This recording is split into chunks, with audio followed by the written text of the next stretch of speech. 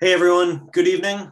Thanks for uh, thanks for joining us for our our next uh, our, our our next speakers series. We've got uh, Curt Wagner from the uh, the uh, Ohio Department of Natural Resources um, to speak to us tonight.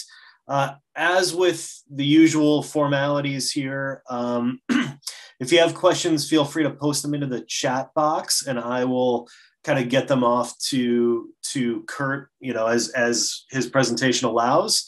Uh, also, you know, Curt Curt has said he's got no problem if you if you want to unmute and uh, and ask your question directly to him. So uh, otherwise, though, we do ask you to keep your uh, your your your microphone on mute, just so that we don't have uh, um, you know anyone stealing the show from uh, from from Curt as we go through. Uh, with that, I'm going to hand it off to Kendrick Chittick, Chittick the uh, the president of the Trout Club, to kind of give us a bit of an introduction here. Great, thank you, Bob, and uh, welcome everyone. Thank you for joining us.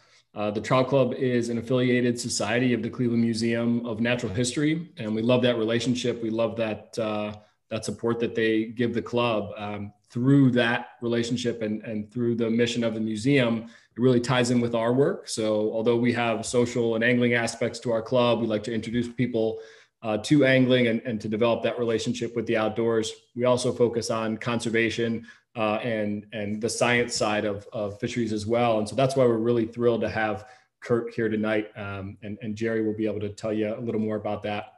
Uh, the Trout Club relies on membership. So that's our primary uh, funding source, uh, particularly in years when we don't do the large film festival. Um, we all miss that, and we're hoping we can uh, get it back next year for you. Um, so before we get going here, I want to remind you guys also that we have a fantastic event coming up on Saturday uh, called the Fly Fair out at Helen Hazen Wyman Park.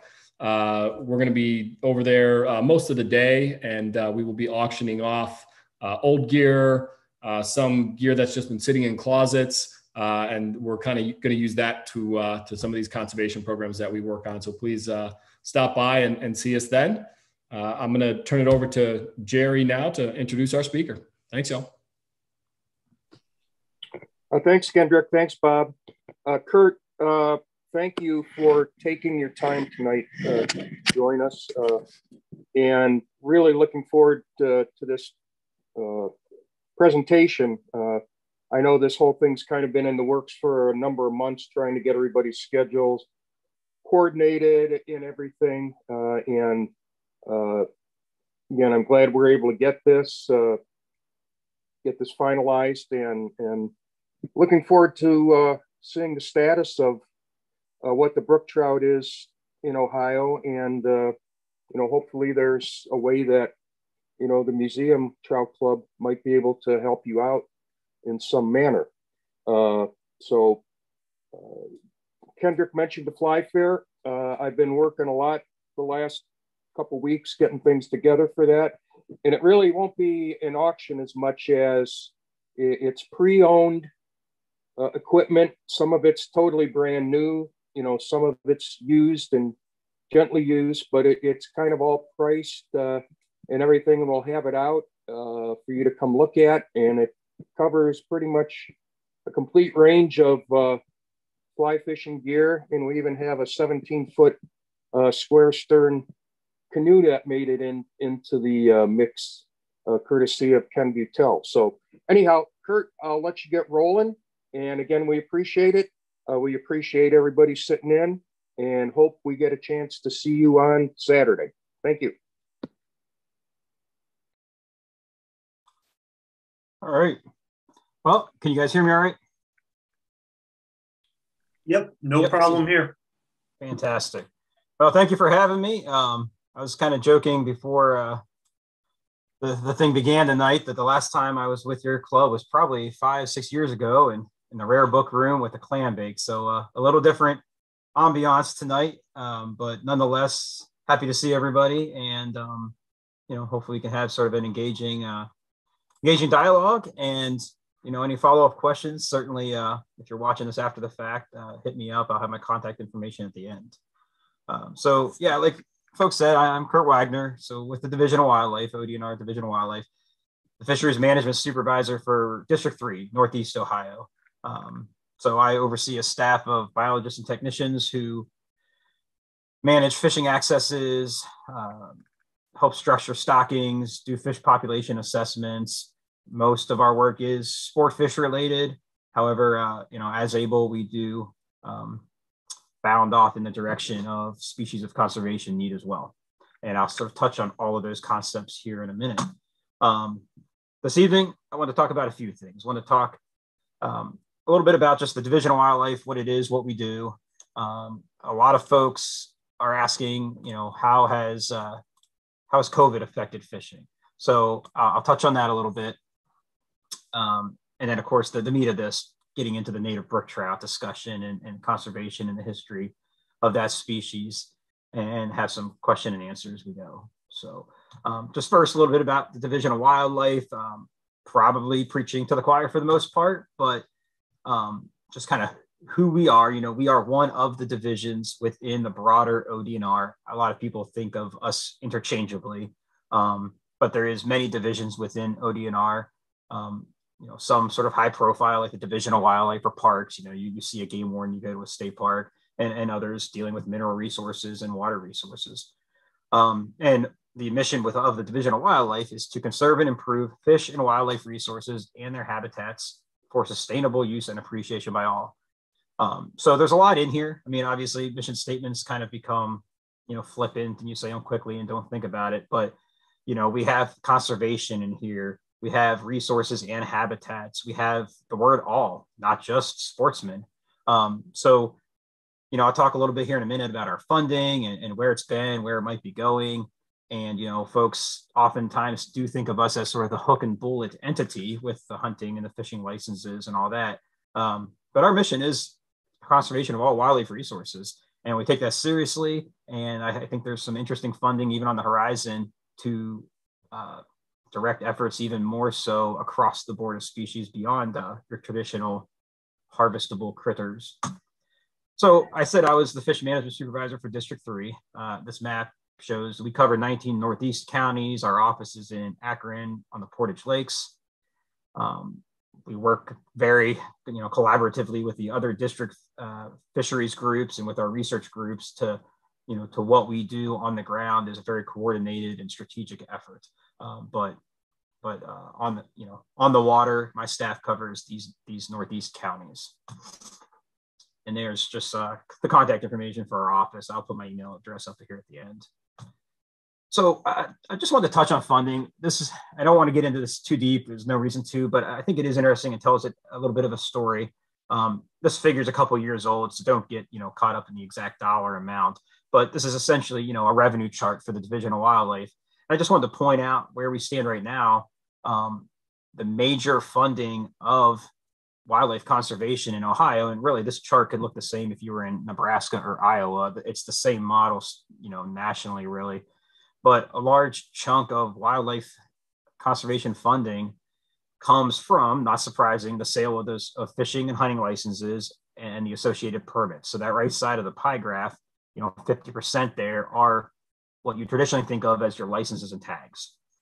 Um, the gray wedge that represents about a third of this pie chart, the, the second yellow circle I have, um, that's a federal reimbursement program. It's the uh, Federal Aid and Sport Fish Restoration Act. Um, it's Pittman Robertson on the wildlife side. So when you buy binoculars and tackle and ammunition, all there's an excise tax on all of that that goes to the Fish and Wildlife Service federally and gets apportioned out to the states on a match basis. So we use the money that comes in from license sales to capture our match on the, the federal aid side. And so you can see that, you know, a large part of the funding block is sportsmen, sportswomen funded, um, with really just about a, a, quarter or less of that pie coming from sort of the other miscellaneous sources. So I did want to point that out. It's important for for anglers and hunters and trappers to realize they are, you know, the machine funding conservation. Uh, the landscape might be changing a little bit. Um, there's some sort of exciting initiatives on the on the horizon that might come for, you know, uh, funding that partners for some of the non-game species. I mentioned that in our mission statement that our, our charge is all species. And we're also seeing with this administration in Ohio, um, some great support out of out of the general revenue side of things for some of our infrastructural improvements and, and big dam improvement projects. So ODNR is seeing a lot of support from the uh, DeWine administration, and so I don't want to leave that out either.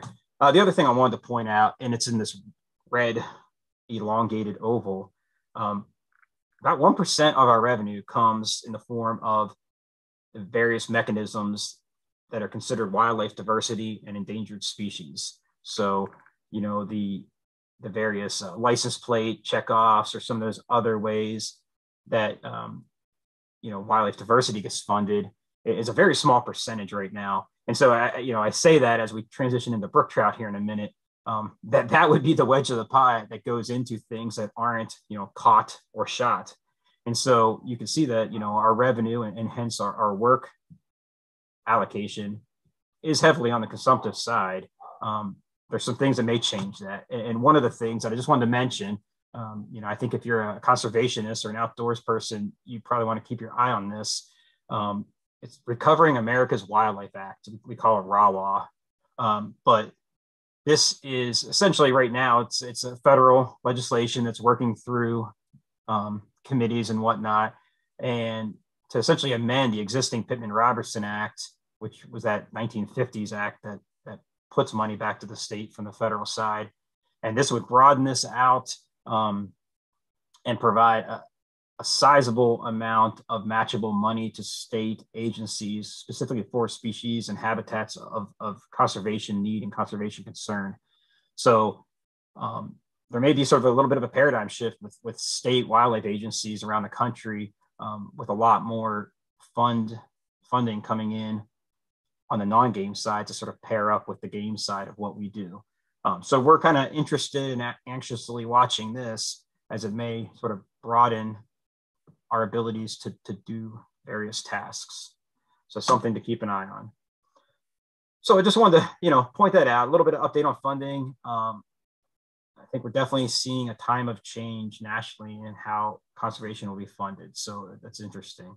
Uh, I want to touch on COVID a little bit. So I'm sure you have on your own streams that you fish or lakes, you've seen the, the increase in boating, boating traffic and kayaking traffic and angling. Um, and, you know, is it just the same sportsmen that are always been there that are just now outside more often, or is it new people into the fold, so to speak? Um, so just a little bit about uh, our kind of license sales and what that looks like in relation to 2020 and, and moving into 2021 here. And I'll, I'll, shout out to Andy Burt. He's our, our staff person in Columbus who put some of these figures together. Um, if you have been up in the Northeast Ohio area long enough, engaged with a trout club, you may recognize his name because he actually worked on the brook trout 12 to 15 years ago or so within uh, Division of Wildlife. So, you know, last year, I, obviously I'm not going to go into it. Everybody's lived through it, but you know, from our perspective within the agency. So, you know, March 13th was when there was restrictions on gatherings out of the governor's office. And then, um, you know, quickly following that, April 7th is when we paused our non-resident license sales. So in that March to April phase, you know, a lot of folks who could started working from home and all this and that restrictions and, you know, don't go out unless you have to. And then that's when the out-of-state travel stuff started to come into play, which really sort of tipped our, you know, side of things to where we needed to stop selling the non-resident licenses to be, you know, in line and supportive of what the governor's office was trying to do. And, and those non-resident licenses um, are a big, you know, a notable part of our annual revenue. So, you know, it wasn't taken lightly that we had to do it, but obviously it was the right thing to do. And so you wonder how does that affect things like fishing on the walleye run? And then, of course, if we get into birding and hunting as well, it had ramifications for, for that as well. Um, but on the flip side, you know, everybody sort of knew that people had more time, whether they wanted to have more time or not, and that fishing and hunting allowed for social distancing. Um, you know, one of the things that was constantly on the news cycle was get outside for your mental health, be active, just social distance. So, I mean, that is fishing. So, what do we see? Um, you know, one interesting thing was just before that, you know, working through the 2019 legislative process, um, our own Ohio House bill 166 that was a fee increase. It was the first uh, fishing license fee increase we saw in at least a decade. I forget what the, the, the, number is there of how many years, but it know, it was a long time coming that, that a fishing license increase needed to happen for sort of fiscal solvency. And it happened to be that 2019 legislative cycle to go into effect in 2020. And, you know, a resident adult fishing license went from $19 to 25. Um, doesn't seem like a huge jump, I would say, to most folks in their annual budget in their household. But still, we pretty much know that we see about a 5% decrease in license sales anytime you institute a license increase. And so going into 2020 with COVID, we're like, well, here comes our license increase as well. However, we saw license sales increase in, in every category of license that we sold. Um, our licensed anglers in 2020 increased 8%. And so, you know, mind you, I said we expected a 5% decrease from because of the license cost that we were, you know, raising there. And so not only did we not see that 5% decrease, we saw the 8% increase. So we got up to, you know, over 900,000 anglers. This was the highest number we've seen since 2003. Um, you know, a big walleye year in Lake Erie. Um, so definitely the amount of anglers you're seeing out there wasn't just uh, the same anglers who had more time. It was indeed new people as well. Um, it translated into about a $5 million increase on wildlife revenue from the fishing side of things. Uh, we had just instituted our multi-year fishing license. So th- this 300% increase is a little bit skewed because it's kind of new. So of course you're going to get a high percentage increase from the year prior. Um, but we saw, you know, a lot of people jumping on top of that three-year license increase. That had a little bit of cost savings too, that sort of offset the the one-year uh, rate hike. And despite the non-resident sales that that we had to stop for a while in April, once we were able to open those non-resident license sales back up, on the year as a whole, we saw an increase in nine percent in our non-resident fishing license sales. Um, it was interesting though; those are the full year-round licenses. The one day and three days decreased. So you can imagine the that every now and then travelers weren't showing up with you know the way travel restrictions were, but our regular you know Lake Erie fishing neighbors to the east and west out of state still bought their license and we saw an increase of 9% there. So a lot of people getting out and fishing in 2020. Um, the, this is interesting. This kind of shows week of the year. Uh, the 14th week represents mid-April on most years, including 2019. So 2019 is that gray figure. In most years, somewhere in mid-April on a weekend, when we have the first sort of spike of nice weather, is when we usually see the, the, the peak of our fishing license sales. Now you look at 2020, you know, we were still in a lot of uncertainty in mid-April. Um, and so our, our sales were down year to date at that point. But then you zoom out to week 24 or 22, I should say, I guess, that represents Memorial Day, the end of May. And, you know, you have still a lot of quarantine going on. You have a little less uncertainty on what COVID means for everybody's daily lives. You have nice weather and time on your hands and lack of summer vacations. And the license sales just shot through the roof and with our you know spike being higher than typical and later. So it was very interesting, sort of what what COVID you know did to these timings. Um, another thing to layer on this that is interesting, we're kind of sitting here in 2021 saying, okay, are we going to retain those anglers? What does this look like? We don't really know yet because we also um, recently instituted that your fishing license is good for a year after the date of purchase. So with that peak coming around Memorial Day of last year, we're still right now a couple weeks away from that huge sort of burst of licenses starting to expire. And then we'll be able to get a better read on are we retaining those new licensed buyers that came into the fold last year? Or is normal life and activities going to sort of push them back and fishing was just a substitute? So that's that's going to be very interesting for us to see. Um, you know, speaking of retaining customers, you know, we, we've done some other things. So we have multi-year fishing license, the three, the five, even the 10 year license. We allowed for folks to select automatic renewals. You know, you put your card in the system just like any other subscription and you can renew automatically if you choose. You know, some strategies that businesses do on the routine to, to keep customer retention. Uh, we're trying to, you know, starting looking at things that way. Another thing is, you know, we have to definitely capitalize on mobile trends in, in, in the world of online you know, a lot fewer people are going into the mom and pop store to buy their fishing license. Um, we're seeing upwards of 25% of the fishing license now being bought online. And in August of last year, we un- unveiled the Hunt Fish Ohio app. So it's a free app. If you don't have it, go to the iStore or Google Play and look for Division of Wildlife Hunt Fish. The, download that app. It's great. It, you can buy your license online. It stores it on the app even when you're not on mobile data. And so you can pull it up to show an officer, for example, in the field. Um, you can check in game from the app. You can see regulations. Uh, we're going to constantly keep pushing more tools onto that app and capitalize on you know the benefits of mobile technology. So you know that we saw a lot of licenses being purchased on that app at the second half of last year. So that's some of the directions we're moving to be accessible. And so then really, you know, how do we capitalize then on 2020's success, if we want to call that from a license sales standpoint, and retain these high levels of participation?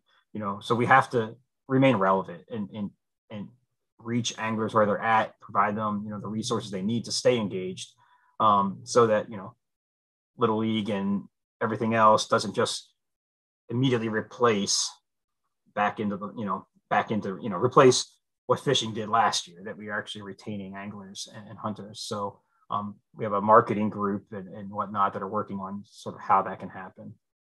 So that's just a little bit about COVID and kind of license sales and some of that. I know that, that seems to be an interesting topic I get asked about quite quite often here as of late. So before we jump into the brook trout, let me sort of turn back on my, my picture of other people. Are there any questions that have come up in the chat or anything on that sort of broader wildlife funding, COVID type stuff before we jump into brook trout?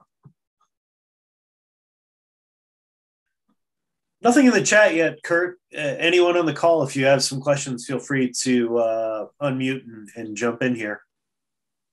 Hey, Curt. Uh, this is Jerry. Uh, you know, this with the permits and everything that are required, you know, for various types of hunting and that, and you know, you probably get this asked all the time, uh, but how come we've never really enacted any type of a cold water conservation stamp or permit, especially based on, you know, the cost of the steelhead program and the various trout programs that we have going on around the state? Yeah, no, it's a great question. Um, and, and I have an answer. We'll see if it's a satisfying one. But, you know, obviously we're well aware of those stamps and states that do them. Um, not something that we haven't considered and, and you know discussed over the years. What it really comes down to is like any business, it's just going to be sort of how do you how do you budget and direct funds? So what those stamps do, and of course it's the added layer of government. It's not just business. You have to enact these things, and then there's you know actual law that protects those funds from other uses.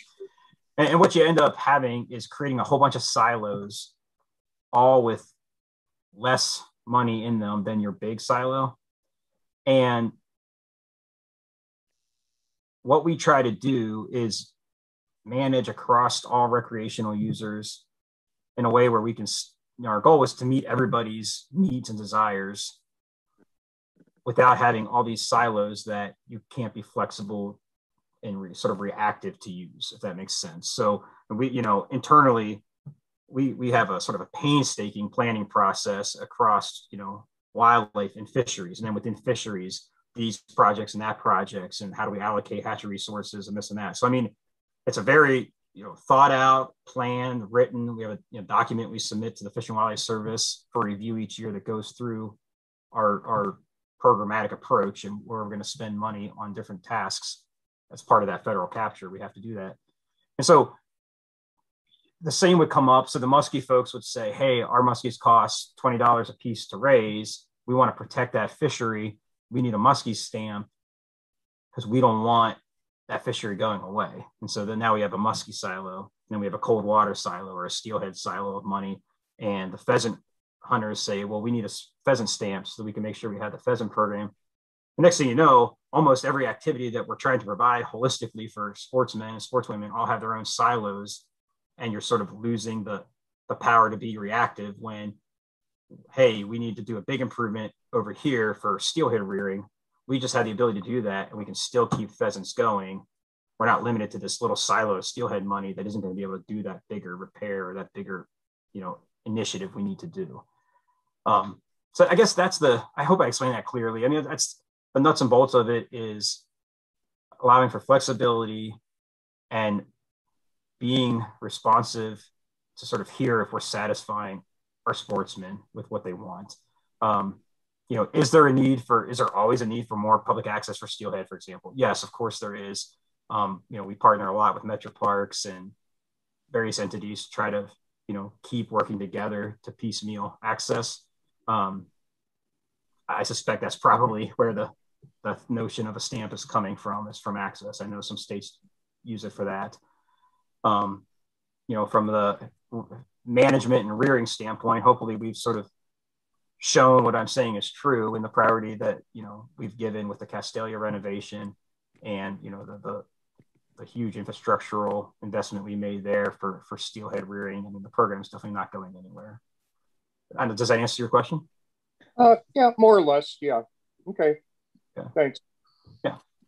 Hey Curt, before we move on, we did get another uh, kind of similar you know question or, or perhaps comment from eh, within the chat uh, someone commenting, you know, in, in, Pennsylvania for an extra five bucks, you can get a button with your uh, uh, license on it. Is is that another? Is that anything that you know Ohio has considered, or uh, you know other kind of perhaps smaller sources of revenue from the same from the same uh, uh, you know pool?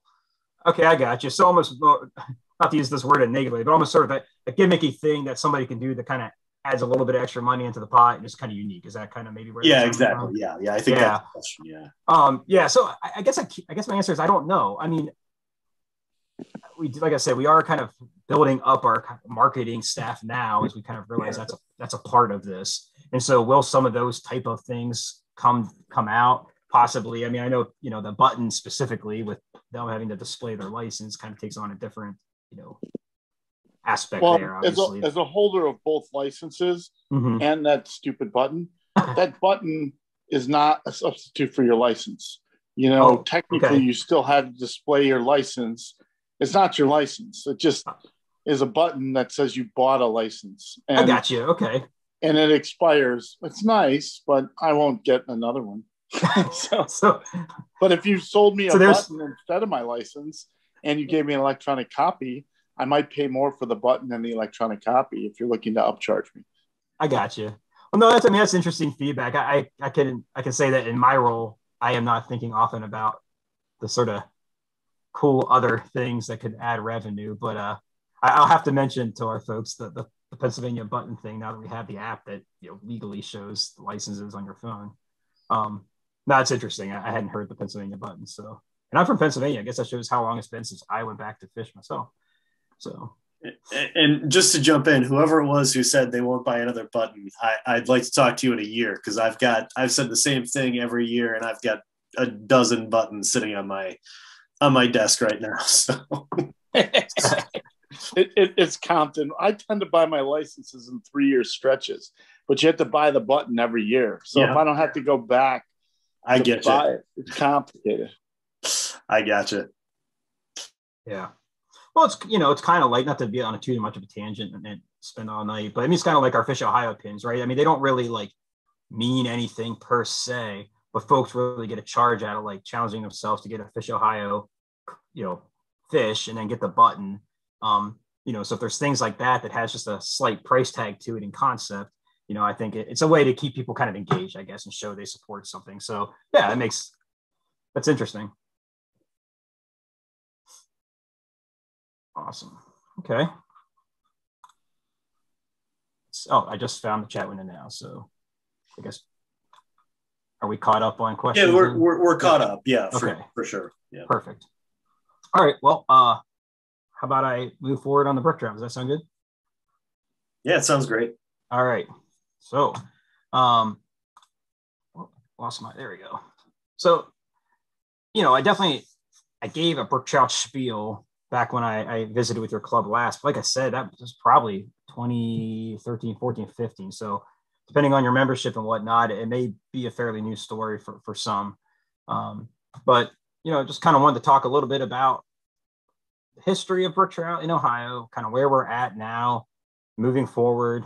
Um, you know, spoiler alert, this isn't one that is like already sitting at a happy ending. We're sort of at a crossroads of, of what we do with these critters. And, you know, I'm sure you guys have had your, your discussions within the club. I mean, I've talked with George Klein pretty often about brook trout. Um, Steve Madewell and myself and Terry Harmon actually just recently met um, out of Sulphur Springs uh, to sort of chat brook trout and kind of what the future might look like for for conservation initiatives. So um, it, it's it's not a holistic story. There's chapters yet to be written, let's say. Uh, but you guys probably know, so brook trout is actually a, a char um, in the salmonid group, along with the true trouts. Its sort of nearest relative, it might be the lake trout from sort of our region of the world. Beautiful fish, known for their for their gorgeous colors. Um, this gets into the range a little bit, and this is in the light brown, I guess. The lighter color would be the native range, and then of course you can see in the darker, you know, maroon. Uh, they've just been stocked all over the West. It's just funny as you know you go to the national fisheries conferences and you're sitting in on brook trout talks, you might have just given a talk or heard a talk from West Virginia or something about, you know, conservation and trying to keep these things holding on. Then you sit in a talk where they're desperately trying to get rid of them for, you know, cutthroat or some other native species out west. So it's just funny how one person's conservation effort becomes somebody else's, uh, you know, nuisance. But uh, if we just zoom in here on what's basically considered the, the, the eastern brook trout, kind of up along the, the Appalachia range, if you look at the colors, red is bad and green is good. Um, and you see a lot more red than green. So you, you, get up into Maine and get into upper New York and New England. Um, you, you know, pink is present, but kind of lacking some quantitative data. So more just qualitative. Green is an actual measured intact, good population. Yellow is sort of reduced at risk, and then red is greatly reduced. So um, even where I'm from, you know, central Pennsylvania, you grew up thinking brook trout were, you know, kind of everywhere, but, you know, a lot of Pennsylvania is going through the same sort of issues with their native brook trout as we are in our little patch of Ohio. So speaking of Ohio, if you squint towards Cleveland, you can see our tiny little splotch of red that's nearly forgotten. And uh, that is a tiny enclave of native brook trout. Um, you can have a habitat like this that sits 25 miles from downtown Cleveland. And it's just crazy. You know, you come in off this expressway and go through shopping centers and drop down into a valley, and then you see this kind of stuff. It's just gorgeous. Problem is, this kind of habitat is incredibly uh, threatened and sensitive when you're in the middle of urban and suburbia like we are in, in, in greater Cleveland. Um, but this is the kind of habitat that brook trout need. Um, a little bit about the, the history of brook trout. Um, we can go back to some really early writings that talk about brook trout, usually say speckled trout or some other flowery language. Um, but definitely leads us to believe that not only were brook trout present in, in, in, Ohio or certainly the Western Reserve part of Ohio, but, but even abundant. Um, then, of course, along came European colonization. It's kind of the story for a lot of bad environmental things. Um, the 1800s were pretty much marked by deforestation. And by the late 1800s, over 80% of Ohio's original forests had been timbered. You can imagine that 1880s forestry industry wasn't following the same BM, the, you know, same best management practices, timbering practices that we ascribe to now. And so you know, this land clearing, although needed for agriculture and development, was just brutal on lots of native species, including the brook trout. Um, we have writings. This is sort of an 1830s writing by uh, Kirtland, one of the sort of early uh, naturalists of Ohio, and noted that the speckled trout are to be found in Ohio in only two streams, a small creek in Ashtabula County and a branch of the Chagrin River in Geauga County. So there's, you know, early to mid 1800 writing already talking about their decline. And if we fast forward a little bit more, uh, get into the sort of second half of the 1800s, we have a, a Cleveland medical doctor, Theodatus Garlick, who um, wrote all kinds of stuff, but uh, he was sort of one of the, the, forefathers or the original, you know, folks who got into fish propagation, um, sort of one of the original aquaculturists of our era here. And he writes that um, in a few streams in Northeast Ohio, they were found in abundance 30 or 40 years since, and a few are yet to be found on the headwaters of the Chagrin River. But in very short period of time, they must become extinct unless measures are taken for their reproduction. So that's 1857, I believe that was, that there's a call for, you know, conservation essentially. Now, I, I sometimes take this a little bit lightly because I, I took the chance to read a, read a lot more into uh, our buddy Garlick here, and um, he was very much on the uh, production side of fish rearing, and and he was actually, you know, he was one of the founders of the American Fishery Society, but kind of separated himself from that ten or twelve years in because the American Fishery Society didn't want to get into the business of sort of market price setting. They viewed themselves as more conservation and you know sort of a professional society. So it was clear that he had a stake in these brook trout from a economic standpoint as well from rearing them. But nonetheless, we'll take him at his word here that he's calling for a conservation of them. So then we zoom 100 years later, uh, we get into the 50s, Milt Trautman, um, you know, the, in my world, one of the famous books on fish, The Fishes of Ohio. So he writes, looking back in time, looking back to the 30s and 40s, he writes, at this time, several tributaries of two branches of the Chagrin River in Geauga County likewise appeared to have contained formerly suitable habitat. By 1945, almost all vestiges of these habitats have been destroyed. So now our mid 1900s accounts aren't really even talking about the fish, they're talking about the habitats the fish would have been in. So from our early fisheries literature, we can see the, the long ago decline and, and presumed extirpation of brook trout in Ohio. Until 1972, Dr. Andy White at John Carroll was doing some work and in some headwater streams and found some brook trout. Um, kind of presumed, from what I hear, uh, that he thought these were probably stocked, even though they were, you know, he was aware they were in the vicinity of historical accounts of native brook trout. And, and as I understand it, you know, he didn't tell everybody and their brother, but figured they were probably stocked, but kind of thought, you know, let's sort of think on this a little bit.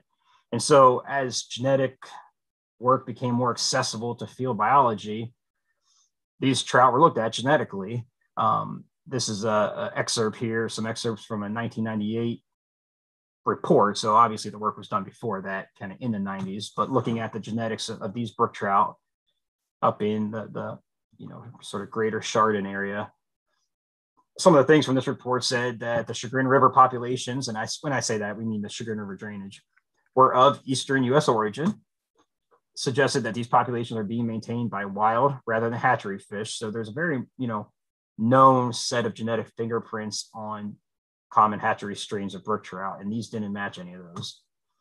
Uh, that the measures of genetic diversity were comparable to the known wild brook trout from the upper Great Lakes, and summarize that these should be considered unique entities for the purpose of conservation of native fish populations. So this is sort of the, the sort of, all right, here we are, you know, conclusion that what we were looking at were, you know, remnant uh, fish from native brook trout, you know, established wild brook trout um, from the glacial recession. So super cool, you know, super small pocket of fish left. And in the same time frame, the Division of Wildlife, along with partners, you know, said, hey, we got to take this seriously and look at a way to do some reintroduction. So I'm going to talk about that reintroduction project. Um, you know, part of that was sort of the forming of what was called the, the Trout Advisory Committee. Nothing really formal. Um, we still kind of have resurrected the Trout Advisory Committee or partnership here in, in recent years to kind of get a focus on these fish again.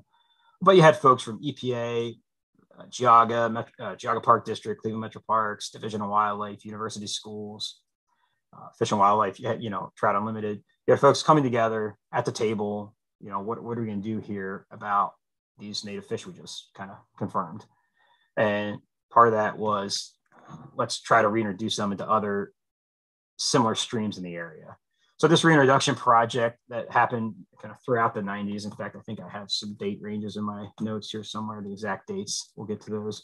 But they involve sort of four parts. The first were, were stream surveys just to look at what would be the candidate streams that you could stock and reintroduce native brook trout into. Um, we generally looked only in um, that chagrin drainage. We did look a little bit outside the chagrin drainage, definitely stayed in the Lake Erie drainage. Um, about 200 streams were surveyed and only 15 were actually found to have the conditions that were suspected to sustain naturally reproducing brook trout and things like you know cold spring fed water the, the appropriate geology a substrate bottom that was rocky without silt you know the riffles in stream cover stable water flow i mean it really had to be that sort of spring fed headwater that was stable so you take 15 candidate streams and you dice it down to 15 or 200 candidate streams, dice it down to 15 you're going to try. So then we had to develop, you know, what fish are we going to stock out? Um, so we ultimately ended up rearing fish, the Castalia State Fish Hatchery. Um, brood stock were brought in from uh, uh, the you know initial stream there um, near Bass Lake where they were found, um, spawned out. Our hatchery folks did a great job of rearing the brook trout and that's what was used for the subsequent years of, of fish propagation. Um, the brook trout were then stocked as fry, about 40 millimeters, so you know, inch and a half, almost two inches in length, annually during April. Um, the, as a general method, uh, each candidate stream received three consecutive years of these fry stockings to an attempt to establish a, a self-reproducing population. About 80,000 fry ultimately were stocked across the, the period of 1996 to 2003 um, into these 15 streams. So this map here shows the locations. Uh, hopefully it shows up well on your monitor, but uh, there's 15 red dots that show the reintroduction streams that were chosen for the project where these fry stockings occurred. For the most part, you're in that chagrin drainage. Um, you have one over here in the Rocky River drainage as well.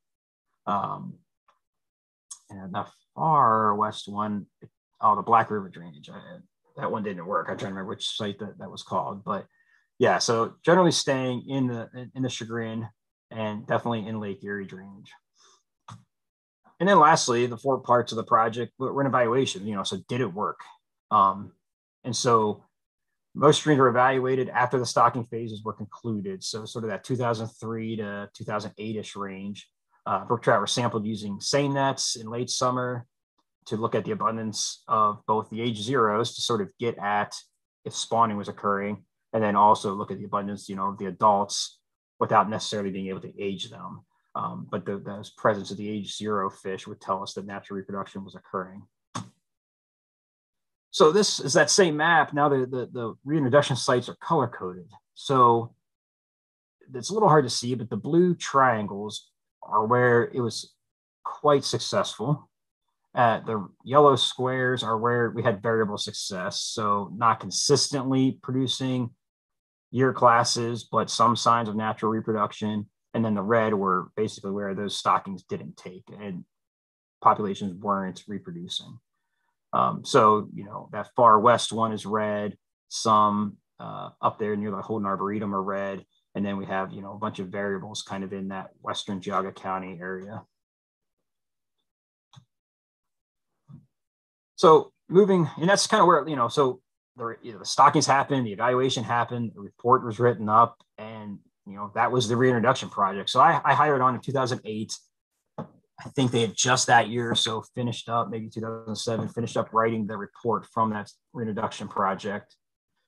And then we kind of were uh, in a wait and see. Earlier, I mentioned Andy Burt, the guy who actually put together our license numbers for us in those in those slides. He moved on. He was a biologist up here working on the brook trout. I came in, and my supervisor Phil Hillman was like, "Hey, we need to you know sort of figure out a way to keep track of, of brook trout now that the project is over and still track these things." So, starting in 2009, we developed you know just kind of an occasional monitoring program to, to basically do a status check on the brook trout populations that were either successful or variable. So we do backpack electrofishing. Um, it's a electrofisher unit that's set up precisely for, for small salmonids. It's a, a very gentle pulse on them. Um, we see very, very low mortality and basically no spinal injuries are observed, which can be the case with other electrofishing with some salmonids. Uh, we do this in August, September. We try to make sure we definitely get in there before it's going to be sort of spawning time. you know, we standardize our approach, uh, you know, the distances we go in each stream, et cetera, so we can compare year to year, stream to stream. A quick measure of the fish and release them. We, we maybe only go, you know, 20 meters to the end of a little pool. We work up those fish, put them right back where they were, and then move on. So we try to have a very light footprint on these populations and only sample them as often as we really need to to, to see what's going on. Um, this table kind of shows our sampling of the, the streams over the years. And I'll kind of build this for us here. So the, the first five streams at the top are those streams that were the, the blue triangles in the map. Those are the streams that left the project successfully creating annual year classes of reproduction. And then the bottom five streams are the ones that left the project in a variable variable state. Some years they had reproduction, some years they didn't. And that's kind of how we'll organize this table moving forward. And of course, the years across the top are the years of surveying. So for example, at the bottom part of this chart, we see that, you know, we went in right away at Mount Glen Farm with electrofishing, saw no trout. Um, if we got in a situation where we were finding no trout, we would then electrofish the entire reach of the stream to really confirm that zero on, on waters where we know we were seeing trout, we're only doing a subset of the stream anyways to not put undue pressure on the population. And then if you look at the next one up, Pettibone, you can see we went in 2009 and our measure of adult population was low. 2012 qualitatively was low. Of course, we have numbers behind us. I'm just kind of putting it qualitatively here. And then you went in in 2015 and we had no fish. And I'll talk about Pettibone here in a minute as a case study, but that's kind of how this table is going to build. So if we add in the rest of those streams that were in that variable category, we can see that by and large, those streams that left the reintroduction project variable basically just needed time to die out. They were not really destined to, to work. Um, we, we only have one stream remaining in that variable stream category where we still have a, a reasonable population, and even that one is looking not the greatest. This is the Apfelder stream. If we look at the streams that left the reintroduction project in what we consider the successful state, there we see, you can still kind of see a downtrend. You got more of the green, which represents the high numbers on the left side of our screen than we do on the right, but we still are having fish at all of these sites. Um, and so, you know, those categorizations meant something coming out of that reintroduction project. The successful really are hanging on more so than the than the variable streams.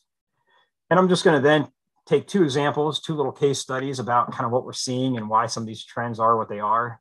And then we'll kind of wrap up with what I think this might look like moving forward. So I mentioned Pettibone. I'm going to highlight that first as a case study. 2009, 2012, low adult populations, 2015, none. So this stream is in the Chagrin River watershed. Um, it's actually on private property, the Pet, you know, Pettibone family, uh, great family, very aware of the cool resource they had on their property. Um, it was a pleasure to be there each time we went to look at the fish. Um, small spring fed stream, mostly forested watershed. There were two small upstream ponds, but the, the water as a whole maintained a cold temperature. So um, it's it was seemed like a pretty good spot. So in 2009 and 2012, I'm going to sort of put up a few figures that that look like this. Um, the the maroon dots represent adult fish and the green dots represent age zero or you know that year class of young fish. And, and, you don't need to get too worked up in what the axis on the left is. Just suffice it to say it's it's our measure of abundance a standardized measure of abundance of fish. So you can see that from 2009 to 2012 you know the young fish the year class measure went down a little bit the adult abundance went down a little bit but not notably they're, they're still there and during this survey period you know, the stream looked like this uh, clear water. You can see that substrate that's exposed, the gravels and the pebbles, uh, undercut bank, intact stream banks.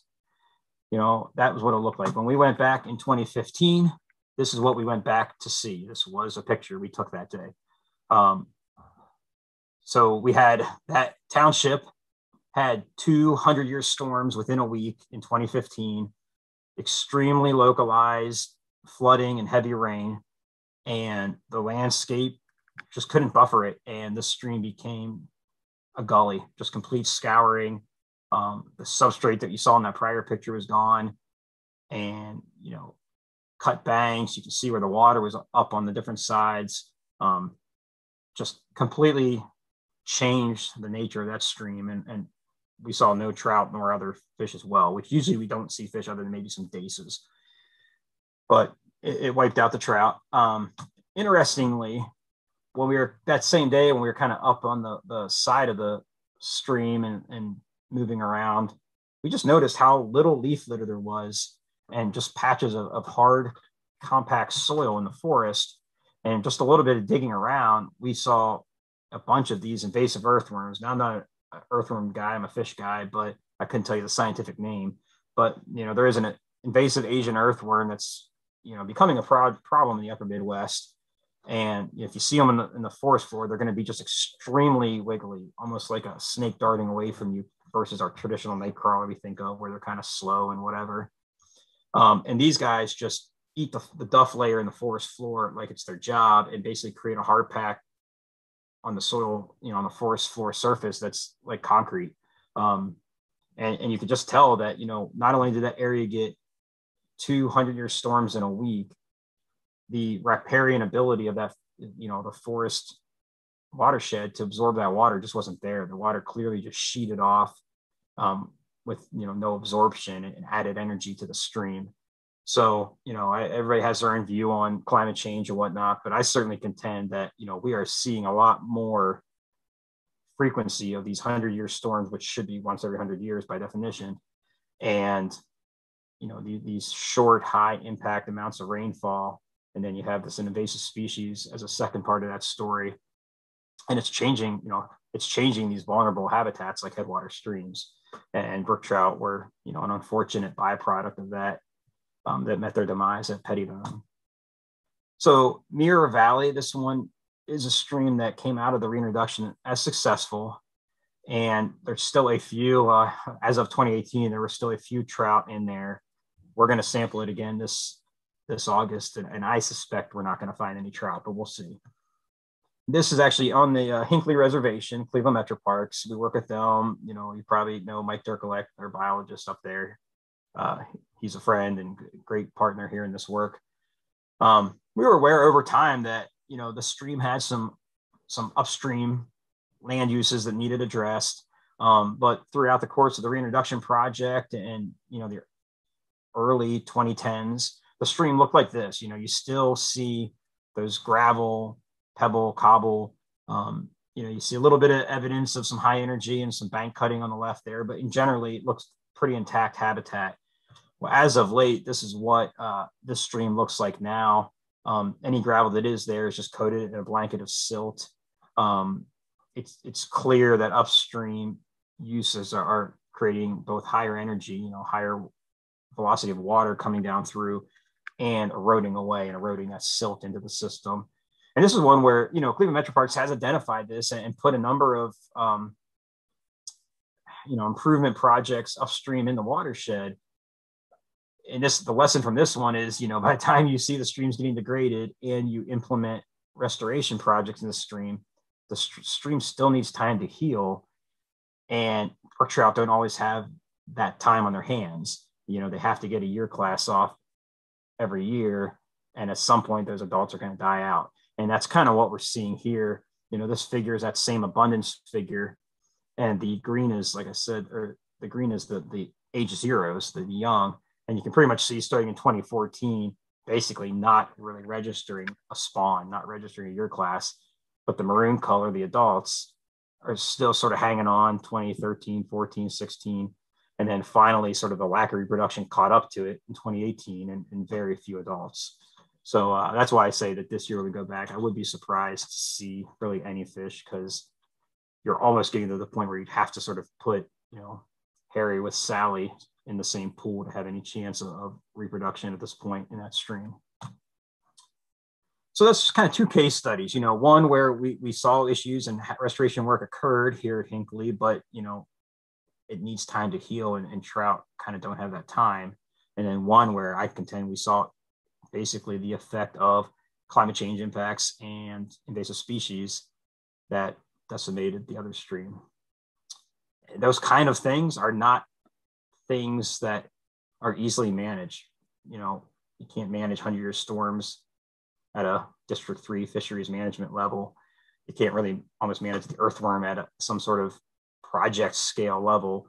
These are big, sort of national, global type impacts that unfortunately are, are hurting these brook trout. So, you know, what does it mean moving forward? You know, we have, let me go back here, we have this picture here that shows even these five successful streams coming out of project are, are you're seeing a lot more mediums and lows as you get into 2016, 18, 19, 20. You know, what does 21, 2, 3, 4 look like for these fish? Um, you know, we're aware that. We got brook trout committee kind of back together and was like, you know, look, we got to do something. People are asking us, what are you doing? You know, other than just monitoring. And, and I agree. Like, we don't want to just monitor them into their demise. Um, but it also isn't an easy management lever. It isn't like, well, just raise more and stock them. Okay, we we did that in the reintroduction project, and now we saw that even the good streams go are going downhill because of big, broad, you know, landscape scale issues. So, you know, we're kind of like, we need to go back to the drawing board. You can't just push repeat on the same notion. You know, what? How do we look at this differently to keep fish intact that we have? And that's kind of where we're at. You know, the first thing we realized, and I know you, we mentioned it even at the beginning of this talk, you know, you mentioned how the club maybe there's ways to partner and you know fiscally or whatever with brook trout, and, and that's great for sure. Um, you know, it quickly came apparent to us and was pointed out to us that before we can ever really go out there and secure like legit size grants for you know you know watershed wide projects you have to have a management plan in place um, you don't really even get to the to the competitive side of those grant uh, discussions without a management plan or conservation plan. Um, so similar, you know, Lake Erie water snake had a recovery plan, very purposeful identified steps and strategies that then money could be paired with to hopefully sort of follow in a stepwise way to create your, your objectives. Um, not a shoot from the hip kind of like, what do we do now? Um, spotted turtle is a great example in Northeast Ohio where lots of partners are coming together with a management plan on how do we work towards the recovery of spotted turtles. Spotted turtle is probably a great uh, analogous example to, to the brook trout. Um, and so to that end, actually, we're working with the Geauga Park District to sort of take the bones of the spotted turtle conservation plan and retool that for brook trout using that sort of structure, obviously with different content. And so that's where we're at now. We are in the process of working out what that plan would, would look like. Um, the goal is you know, by winter of 21, have a tangible draft in hand. Um, that, that's going to be essential, not just for securing the funding, but for even us staying consistent in our goals of what do we need to do. We know it has to be targeted. We know it has to be strategic. And then we figure out how to best partner with entities that align best with those objectives. Um, so that's kind of the phase we're in now. I mean, we will keep monitoring. Obviously, that's important, but we're, we're aware that monitoring in and of itself isn't the end, you know, step or goal here. Um, does it look like transplants into other streams? Maybe in a strategic way. Does it look like a big Johnny Appleseed broadcast of, of stockings again? Probably not. Um, does it look like stream restoration activities? You know, definitely maybe. Um, if they can be done in a time that allows for the stream to heal and still keep the brook trout there. We're kind of learning at the Hinckley example that that one's kind of tough. Um, so that's kind of where we're at. Uh, that's what I got on brook trout. Uh, maybe we can let me pull up my uh, thing so I can see the participants again. Um, do you have any questions on the brook trout situation? So so we got a we got a couple in Curt. Um, yeah. But one that I, will just kind of jump to here. So um, you know, as you talk about the plan going forward, um, and again, I know you're you're kind of the I think you said District Three head, right? But uh, is there any talk about introducing these uh, uh, sort of like native northeastern Ohio brook trout in you know other areas of Ohio that that might be more conducive, like just in an effort to keep the, the bloodline going, as it were. You know, say say south south uh, southeast West Virginia, PA area. Yeah. So thought yes. Um, to, until now, you know, to date, anyways, our stance has been keep them in the drainages we know we have historical documentation of. Um, it's just sort of that sort of pathway of the most conservative approach, I guess you would say, um, to not be a contributor to putting species outside the range. Now, that being said, I realize just putting them in Southeast Ohio at a water that drains into the Ohio River is a lot different than taking some, you know, tilapia and putting them somewhere else that's, you know, from half a world away. I, I get that. Um, but to date, we've basically held, we need to keep those in, in the drainages we know they were. Um, would that be something that maybe gets sort of looked at as you sort of flesh out what does conservation plan really look like? And you know what are the pros and cons of that? Um, yeah i don't think that's out of question to consider and, and it's it's a valid discussion to have. Um, really until now we've basically been of the stance of we're not really moving this fish around anyways. I mean like when we do it let's do it with a strategy behind it. So um, it hasn't really become a consideration yet. But I had, you know, had, had have had some various requests from folks who say, "Hey, I have property in, you know, Belmont County or what have you, where you know it's a headwater stream and it's super cold year round. What about trout?" Um, so, are there some streams out there that might hold them? Yeah, possibly. Uh, awesome. Uh, thanks for that. There, there, was actually a couple of uh, other follow ups along those similar sort of lines. Um, but it, it, sounds like really the answer here is, um, you know, primary primary focus on the the natural areas with a, maybe a consideration of these other areas. You know, down the line is a possibility. Yeah, we've got another one in here. Um, so, so we've got a question that says, you know, maybe diving a little bit deeper into what's hurting the populations. Is it primarily water temperatures or, um, you, you, know, what's really driving down these populations or, or do we not know? So I don't think we like know. I can't say, you know, here are my statistics. I know this is it. But sort of observing what we have seen with our survey work and this, this, the way these streams have changed, I would say the number one thing we're seeing is, you know, stream stream scouring, high, higher energy in these systems. So, you know, that's that's going to be rain, heavier rainfalls. It's going to be landscapes that are not absorbing as much water and instead sheeting it off into the stream. Um, it could be drainage and culvert changes upstream that is, you know, kicking some sort of feeder into the stream at a, at a spot. But it definitely, the, the, the streams where we're seeing these declines, you go and you can see evidence of bank erosion at high water. You can see those twigs and leaf mats that are pushed up on the bank where at one point, you know, a big surge of water did come through. You can see where you can like slough away silt and get back down to the cobble and pebbles where you know that's where the brook trout would want to spawn and it's covered with just that sheen of silt so um, more so than temperature we're seeing some places where maybe it got a little warmer if there's a pond or something but by and large we're really not seeing actual water temperature changes you know it's still day to day to day to day this water coming out of springs but it's what's happening on the landscape that's adding sort of pulsed and periodic energy to the stream that really seems to be kind of blowing out that habitat. Got it. So, so that we we've heard a very similar story from several of our other, um, you know, speakers over the over the last year. Um, you know, we we had a, a woman who came out and spoke about the the Cuyahoga River watershed and she kind of closed her her uh, her presentation by saying everyone needs to have a rain garden in their yard. So I think I think I'm hearing the same uh, the same statement coming from you. Everyone should be digging a rain garden. Yeah, I mean it. Yeah, it's crazy. It's kind of like you feel like you can do nothing about it, but then maybe everybody can do a little something about it. Um, yeah. But then you know we, we see those earthworms, like I was saying at the Pettibone property, and that was just nuts. As we got up in the forest and kind of walked around. I mean, the forest floor was like concrete, like rain would not absorb into it. Um, you got stuff like that. You could do all the rain barrels you want, and you got a landscape, you know, a watershed scale impactor like that. Yeah, it's it's a lot of causes at once that are kind of coming together. Fair enough. Fair enough.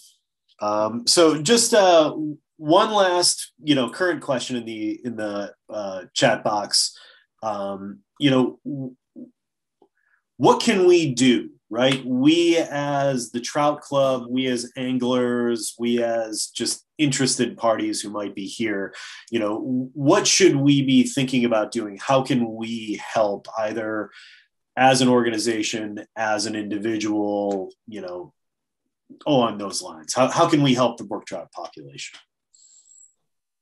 That's a great question. And, and that's what it seems like it should be easy. Like, well, here's how to help and it's kind of the question that we always land on that i'm like i'm not sure exactly um, certainly it would be things like being vocal and supportive and supporting legislation like that rawa i mentioned.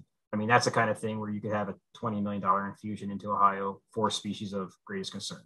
That's real money. Um, now are there factors affecting the brook trout that's beyond a price tag? Maybe but still that you know that kind of scale is, is, is some legit funding there.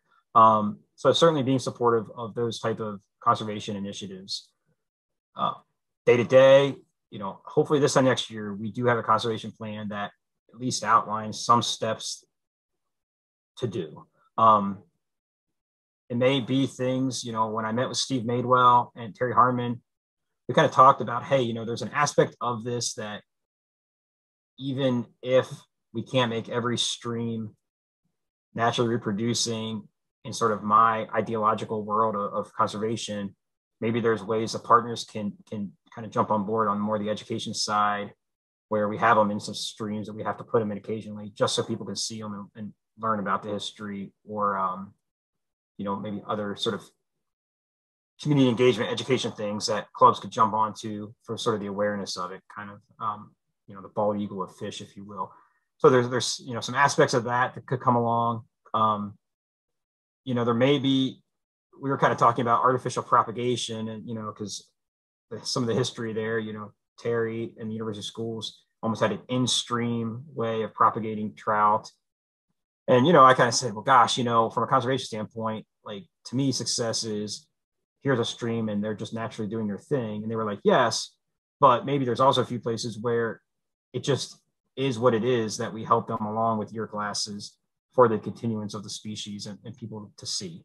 And, you know, maybe that's a way where partners like certain clubs maintain those little, you know, in-stream spawning box type things. So, you know, there, there could be some tangible ways. Even when George Klein and I were talking this winter, you know, he asked, what about even just those like redd boxes? You, you know, you build a square out of wood and put it with gravel just so the fish have a substrate to spawn in. Um, you know, could that be something that may or may not move the needle, but it's very doable by a group of volunteers on a Saturday. And maybe it adds something to the population. So I think it's a range from supporting those big federal level conservation initiatives that, you know, legislatively that could come down, as well as maybe we do some small scale habitat stuff that, if nothing else, raises awareness among those who help out on a project and then maybe does, you know, put some band-aids on populations. So um, it's not a terribly fulfilling answer, I guess, but I'm not at the point where I say, hey, we have this project. If we only had $5,000, we do this project, but we don't. You know, that's kind of not where brook trout is are right now um, with those sort of easy, biteable projects ready to, you know, move their. Sure, sure. Make makes sense, and you know, good to hear that there's you know perhaps some some stuff like that maybe on the horizon but uh, you know uh, I, i've gotten notes from from kendrick. I've gotten notes from from jerry. I mean we as a trout club are are here to help in in these sort of things. So so we want to be involved in this and um, will in whatever capacity we can. So um, you know keep us in mind as as projects do come up and you know we will do what we can to get the the word out about this like i said like like jerry said at the outset you know this will go on our youtube channel um, this week. So hopefully other people can see it and hear the hear the brook trout story and and just you know we can help uh, hopefully further the education aspect of it. But yeah I, I really appreciate that. I mean i i do realize and, and acknowledge your your support and desire for support. You know when i talk to you know other groups or or even internally kind of keeping the brook trout on our internal radar um, I regularly mention the museum's trout club and, and sort of the, the interest of support and sort of, uh, you know, at the ready for support that you guys have articulated. So uh, it doesn't, it's not falling on deaf ears. I, unfortunately, I just, I don't want to come for an ask if I don't have a good use for the ask yet, you know. Um, so hopefully we, we get to that point. Um, but I appreciate that that support for sure. You know, sometimes sometimes you sit back in frustration, feel like this whole brook trout in the shadows of Cleveland is like a square peg round hole thing because it's just a such a pristine fish and such an impacted landscape. Um, but yeah, I'm not giving up, but it's definitely a this one's a bit of a head scratcher to how you're going to keep it going intact. So sure, sure. Curt, I do think the plan is helpful from a conservation perspective too. I mean, I I know um, through some of my work that when we have plans for you know the Massasauga rattlesnake at the Land Conservancy or other species, you mentioned the spotted turtle and the cameras, all that. I mean, that makes a big difference for funders as well. So yeah. you know, it just makes those projects that have the headwater streams that have the habitat. Uh, it makes them way more competitive if there's a larger plan with all those partners that you mentioned before between the NGOs, uh, the clubs, and, and the state. Um, so I, I do I have seen some of those be be effective if they're um, you know done the right way. Yeah, so that, that's good. Yeah, it's not a satisfying answer when you tell somebody, well, "What are you going to do?" we're going to we're going to sit there write a plan, but it, it's needed, I think. Yeah, for the nuts and bolts of how that works, it, it is needed. Yep.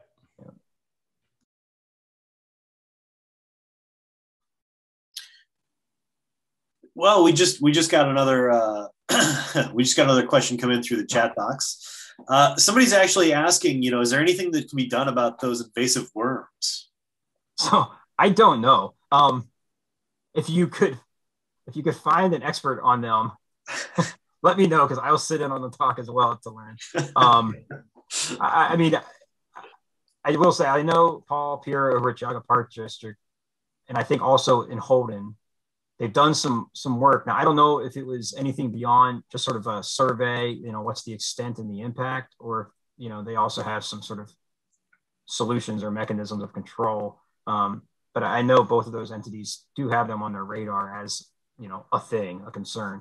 Um, but yeah I, I tell you i don't know much about them beyond what i i mentioned about their impacts on the soil. Um, Got it. We'll, we'll, we'll, and I don't hear it much. I don't even hear it much in circles. So people aren't talking about it much. But yeah, squirrel that one away as a possibility. Well, I'll open it up to anyone else who's on the call. Are there any final questions before we close it out today? Curt, this is George Klein. Yeah. Yeah. Would there not be a, a reason to take a few of these brook trout and put them into some type of hatchery and hold them there until uh, we don't wake up someday and find out that all the streams have been wiped out? So you could. I mean, I, guess like any of this, I don't want to be black and white and say, you know, no, no way. Um, you'd have the very real pressures of, well, why are we holding these? And, and keeping them healthy and you know what's the end goal here? Um, you know i guess it'd be essentially like a living repository of the genetic material if you will. Um, you, would have you'd have some number issues too right? Like how many do you really need to hold so you don't have such an insane genetic bottleneck that you're not really even effectively holding the genetic diversity the population has? Um, so I, I think maybe just where rubber meets the road, it hasn't elevated to sort of a practical task to actually say we're going to put dollars and man hours at this. Um, I, I would think you'd probably be grabbing a pretty hefty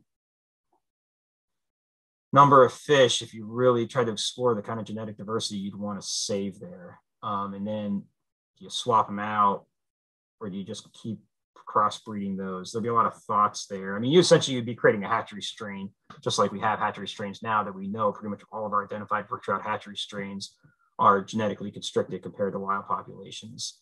Um, and so, does that really get you any further ahead than just saying we know we have hatchery brook trout strains that we could buy. I mean, the uniqueness of the Ohio strain is its diversity and, and sort of genetic differences among its nearest neighbors. Otherwise, let's not bother calling it really Ohio native brook trout and just say, well, if they go by the wayside, we go and grab some other brook trout.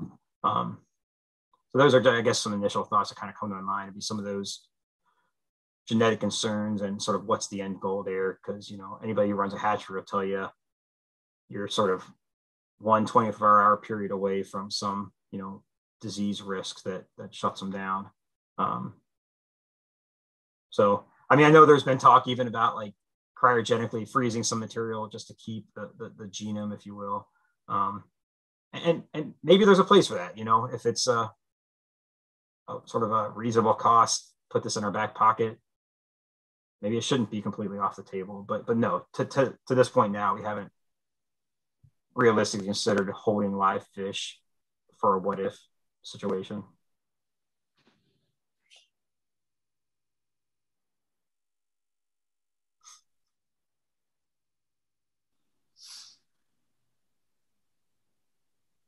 I think all of those type ideas are the, the you know, I think as this plan unfolds, one of the exercises I've heard that's very important in these conservation plans is you just throw every dart you have at the board at one point in time, anyways. So you sort of thought, you know, nar- you know, thought beyond maybe like the narrow views I have or the narrow views Dirkolek or Paul Pira have, and you just throw ideas out there. And so, yeah, hearing things like that, even though I have sort of my rational why this might not work right now, are really good ideas to make sure like we think big and outside the box. So to, to that side, I certainly appreciate that comment.